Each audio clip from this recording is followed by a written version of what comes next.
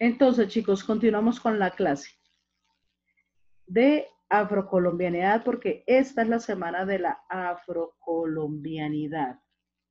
En Colombia se celebra el 21 de mayo. Entonces, eh, trabajamos esto, trabajamos esto y acá fue donde quedamos, ¿cierto? Continuamos acá. Dice, ¿y cuántos murieron sin llegar a tierra firme?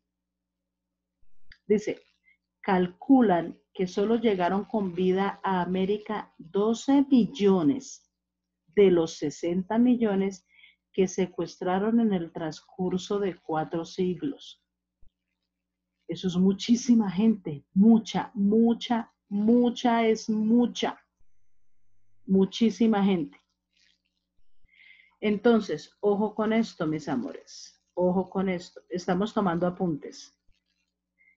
Dice, para reflexionar, ¿por qué morían en el viaje? ¿Por qué morían tantos en el viaje? Voy a explicar esto clarito. Dice, eran traídos en buques especiales llamados ataúdes.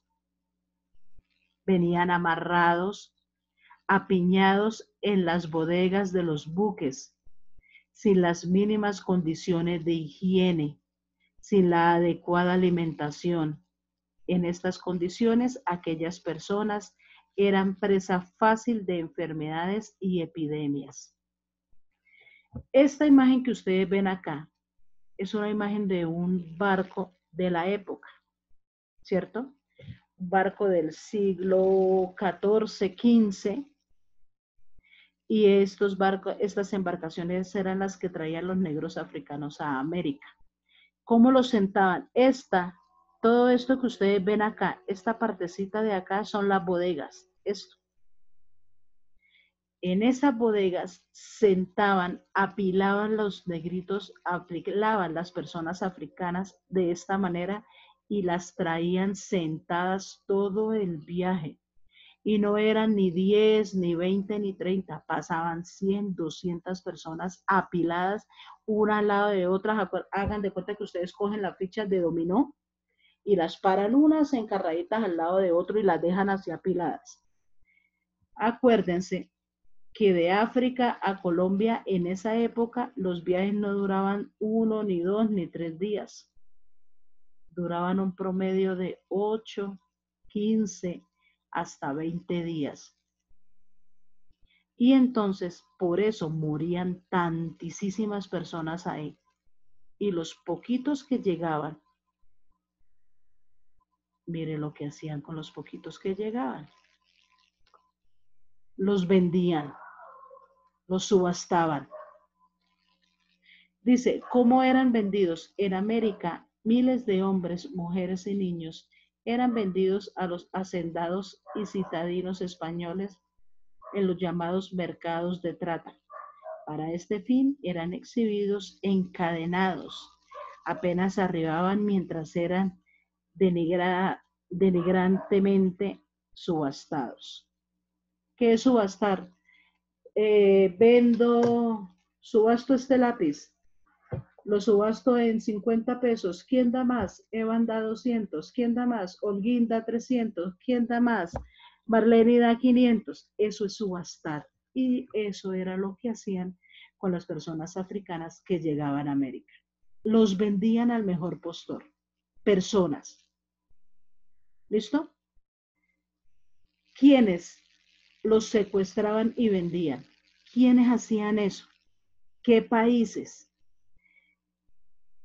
Inglaterra, miren acá, Inglaterra, Portugal, España, Francia, Holanda, Dinamarca, Suecia. Ellos eran los que se encargaban de ir a África y cazar como si fueran animales a estas personas. ¿Listo? ¿Qué no es verdad? Ojo, ¿es verdad que los africanos eran animales que no tenían ninguna organización social? ¿Es verdad eso?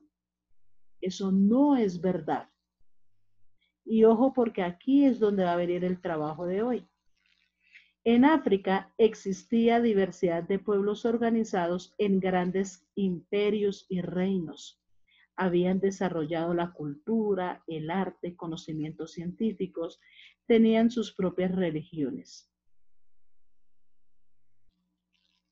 Sabemos que muchas de las personas traídas como esclavos eran en sus lugares de origen príncipes y princesas africanas, médicos tradicionales, sabios que ocupaban un lugar importante en sus sociedades.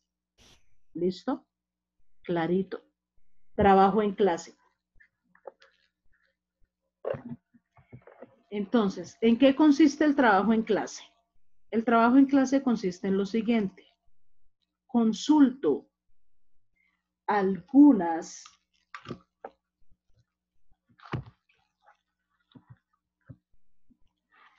consulto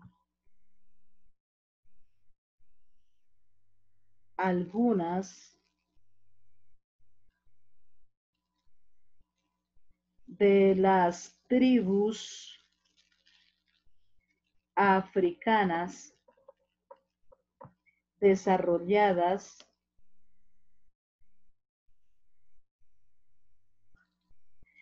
entre los siglos XV y XX, y perdón, y XVIII, entre los siglos XV y XVIII. Luego, elaboro en un octavo de cartulina, elaboro en un octavo de cartulina, un collage en el que evidencie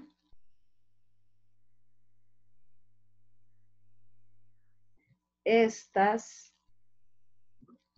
tribus africanas con sus nombres. ¿Listo?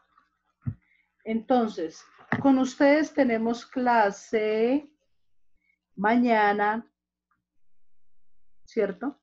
Entonces, para mañana es el collage. ¿Listo? 6, 2. Para el miércoles en clase es el collage. ¿Listo? Y el primer punto es para desarrollarlo aquí en clase. ¿Listo, hijos míos? Entonces dejamos hasta ahí y continuamos la próxima clase.